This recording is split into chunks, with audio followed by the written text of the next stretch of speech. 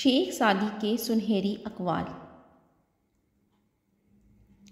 मेरे पास वक्त नहीं है उन लोगों से नफ़रत करने का, जो मुझसे नफ़रत करते हैं, क्योंकि मैं मसरूफ़ रहता हूँ उन लोगों में जो मुझसे मोहब्बत करते हैं।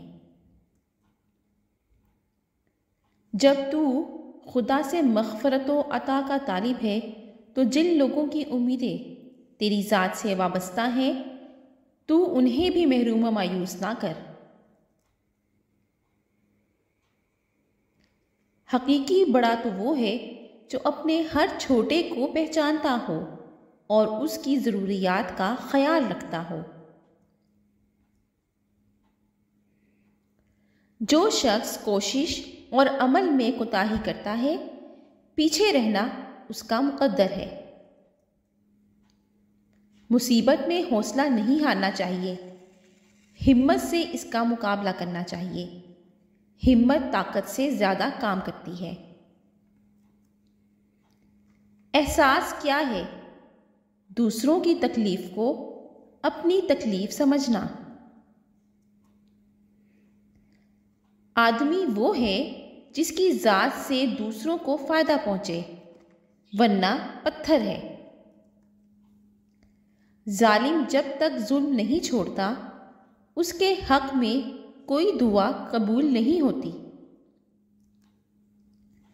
कोई शख्स रोज़ी अपनी लियाकत और ताकत से हासिल नहीं करता, अल्लाह सबका राजिक है।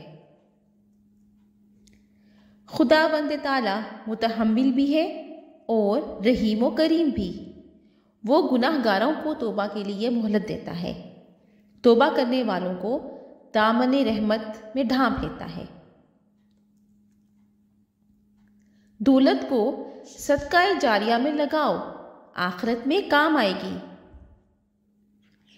ज़िंदगी का राज सबर में पोशीदा है। अगरचे इंसान को मुकद्दर से ज़्यादा रिस्क नहीं मिलता, लेकिन रिस्क की तलाश में सुस्ती ना करो। जो शख्स दूसरों के गम से बेगम है आदमी कहलाने का हकदार नहीं है। दुश्मन से हमेशा बचो और दोस्त से उस वक्त तक, जब तक वो तुम्हारी तारीफ़ करने लगे। मुसीबत को पोशीदा रखना जवा मर्दी है। मुतालिया, गम और उदासी का बेहतरीन इलाज है।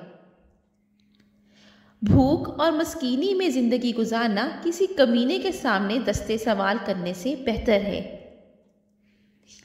कमज़ोर दुश्मन अतात कबूल करे और दोस्त बन जाए, उसका मकसद उसके अलावा और कुछ नहीं होता कि वो मज़बूत दुश्मन बनना चाहता है।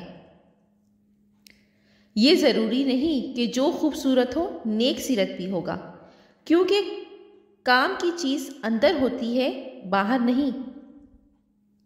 आहिस्ता आहिस्ता मगर मुसलसल चलना कामयाबी की इलामत है।